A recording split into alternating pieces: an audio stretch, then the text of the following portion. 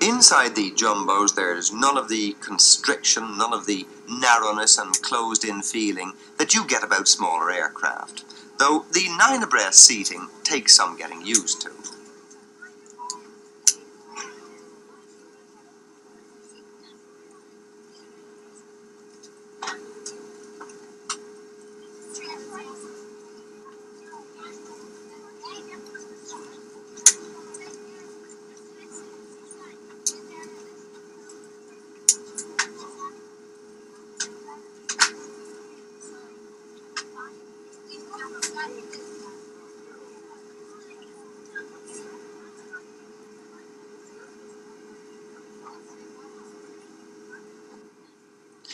Takes 16 hostesses to look after the passengers. In the old DC 3s, you had only two. But it still takes an air crew of only three to get this giant into the air and on its way. It's so damn big that walking down its corridors is almost like a stroll down Grafton Street. Its sheer physical size and the number it can carry were off putting factors for some prospective passengers who asked, can it really be safe to have all that many people up there in the sky? This phenomenon that you mention of people reacting to size is rather peculiar because if you look at our predecessors in the transport world, say ships, it was pretty obvious that when you built a Queen Mary or a Queen Elizabeth or an Ile de France, compared to the smaller ships, that the bigger ships were safer. They were more stable, there was more space, and of course they were a later stage of design. Now, this is what's happened with this aircraft. It is an aeroplane which is some four to five years later in its design. Its general design features, structures, engines, electronic equipment, navigation, they're all, you could call it one and a half generations. But I use the word one and a half generations. It's not a second generation of jet because there's no great breakthrough into any new technology.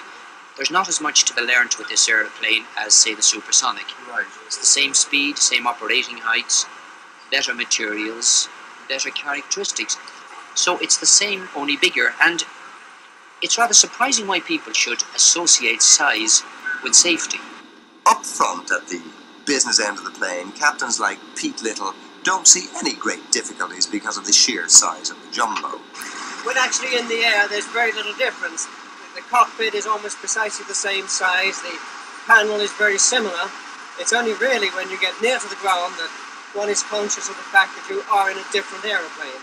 After all, we're sitting some 26 feet above the ground when taxiing out, as against about 15 feet in the 707. Is, is it a, a, a difficult aircraft to fly or a pleasant one? It's an extremely pleasant aircraft to fly. I think they put certainly a good 15 years of advanced technology into it since the original 707s. And I remember when I came into this business, they said, Dakotas, I got all metal aeroplanes instead of de Havillands. 21 people, that's an awful lot of people to have in the sky at the one time. But when it comes down to what's going to pay for this aeroplane, the passengers are flocking onto them. Uh, statistics mean very little to the average person, I suppose, but in the first year of this airplane ser- service, 7 million people flew on it. Now, in the first year of the 707 service, 1.5 million flew on it. 7 million, twice the population, nearly three times the population of Ireland, flew on 747s alone. There was, of course, a, a very thorough training program on the ground for the jumbo, not just for loaders and dispatchers and engineers, but for hostesses too. Well, this is our first flight, and uh, we've got to get used to all new aircrafts. And I found very little problems. Just walking up and down the cabin, checking that our panels are all right, and the ovens are working, and that um, passengers are have their headsets, movies are switched on, and um, just checking all panels in general, and that the girls There's a lot more work, obviously, on this aircraft than there would be on a 707. No, there isn't. In actual fact, we have more girls to each cabin. We have uh, cabins A, B, C, D, and E. In cabin uh, C and D, we have six girls for 116 passengers. So that in actual fact the passengers still get the same sort of service, but is it not tougher on the hostesses? No, not at all. Our passengers are seated nearer to our galleys. Um, Do you have a problem, for instance, in getting the food out on time?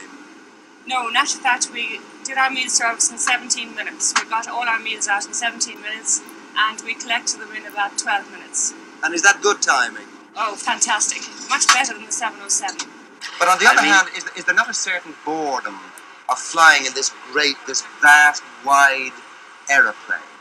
Well, I'd rather say a sense of security and calmness, but you put your finger on one of our biggest problems in training. We are the only carrier flying these airplanes with all hostesses. We don't have a steward, we don't have any men on them. And we built a reputation on these girls, on their friendliness.